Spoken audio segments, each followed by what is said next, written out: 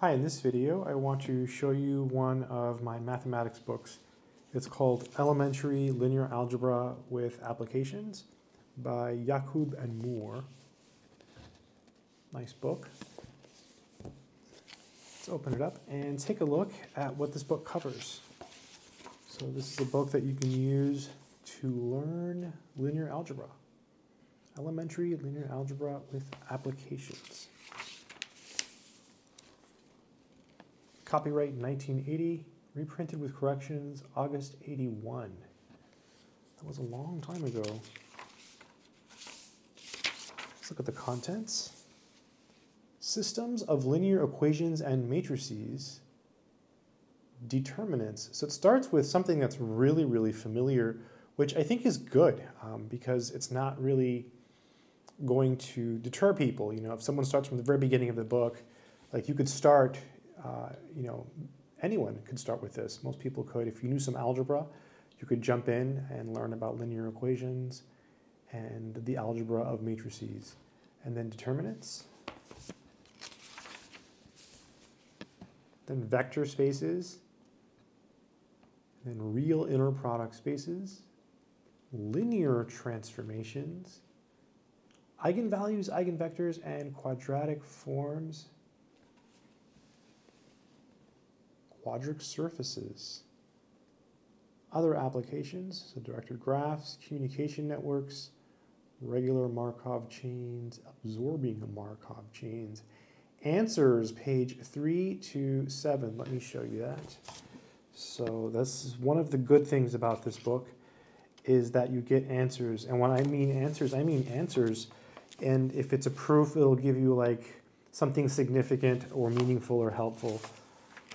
So very nice. So you have it for the odd numbered exercises. So not all of them, but it's better than just like selected exercises. And you see, they try to explain or at least give key ideas and hints for um, the proofs if there are proofs. So it's quite nice, quite nice tons of pages of these answers slash solutions for the odd numbered exercises.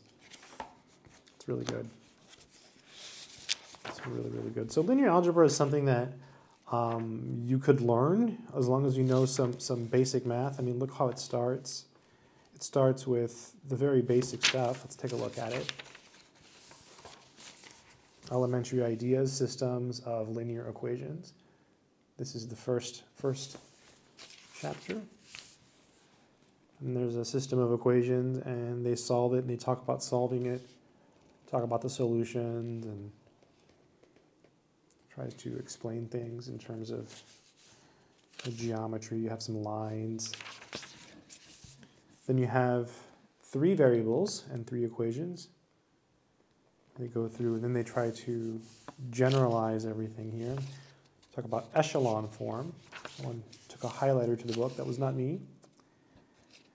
Yeah. Nice. I mean, so this is, and then you could you could work these out, and I mean, you could do you could probably do some of these. Like number seven, solve the systems of equations by substitution. So that's that's one that I think a lot of people could do. Although it's probably easier with addition. You can just add x plus y equals four, 2x minus y equals 11, right? Um, just adding, you would get 3x equals 15. So x is 5. So that would be pretty good. Yeah, it's pretty cool.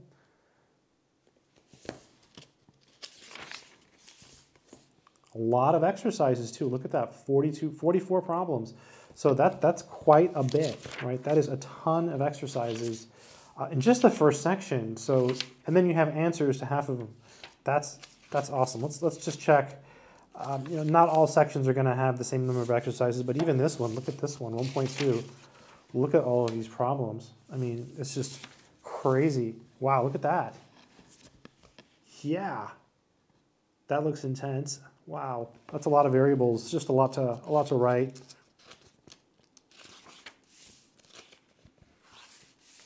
Basic matrix operations. So we have matrix multiplication. Oh yeah, matrix multiplication, that's what this is about. Mm -hmm. Matrix multiplication is one of those topics you, you learn in other classes. I learned it in an algebra class, but it's so if, so if you already know it and you, you pick up a book like this, you're revisiting it, which I think makes it pretty cool. The product matrix AB, yeah, tells you how to get the uh, the entries. Algebra of matrices. Hmm.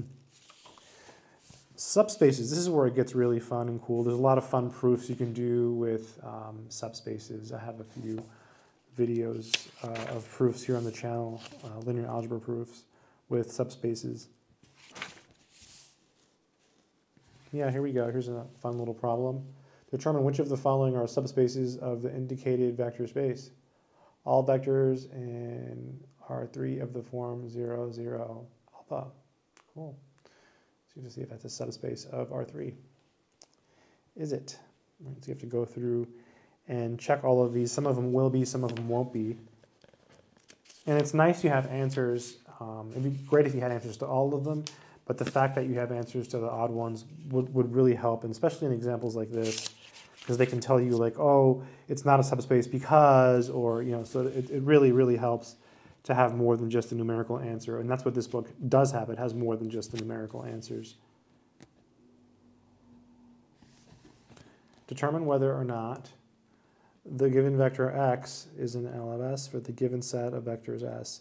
If it is, write it as a linear combination of the vectors of S. Cool. Hmm. Bases and dimension.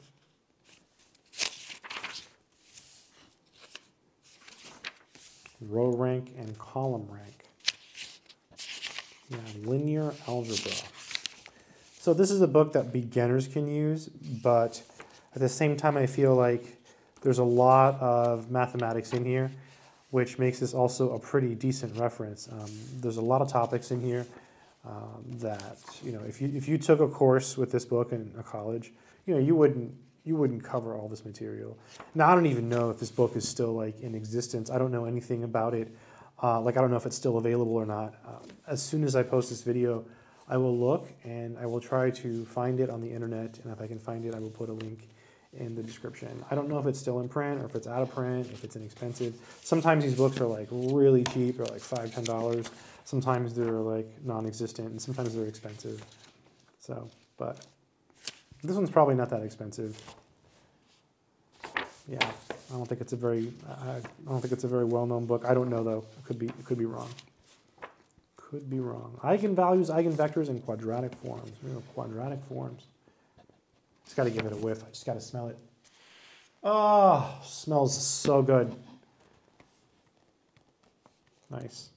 Mathematics. Anyways, just wanted to show you this book. It's on linear algebra. I hope it's been helpful. Good luck.